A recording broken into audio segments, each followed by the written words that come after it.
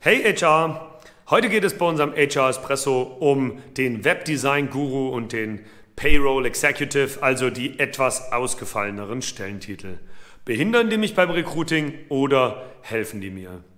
Zwei Dinge muss man dafür unterscheiden, wo setze ich es ein? Offline oder online? In der Offline-Welt kann das durchaus nützlich sein, wenn es gut platziert ist und zum Beispiel im Vorbeigehen für so einen Aha-Effekt sorgt. Online ist das Urteil ganz klar. Nein, ausgefallene Stellentitel behindern euer Recruiting hier.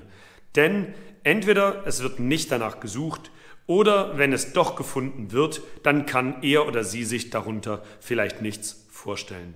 Und sogar noch schlimmer, es schreckt Bewerbende ab, Softgarden hat das in der Befragung herausgefunden, dass 83 Prozent der Kandidatinnen und Kandidaten sich einen Stellentitel wünscht, der informativ ist und schon einen Vorgeschmack auf die Stellenanzeige und die Tätigkeit liefert.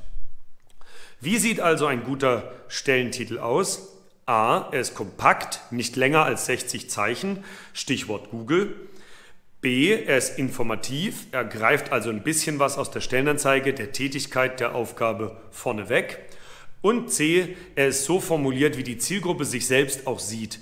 Also Softwareentwickler statt Coding-Nerd und Softwareentwickler statt Software-Entwickler beispielsweise. Auch hier kann sich das Suchvolumen erheblich unterscheiden.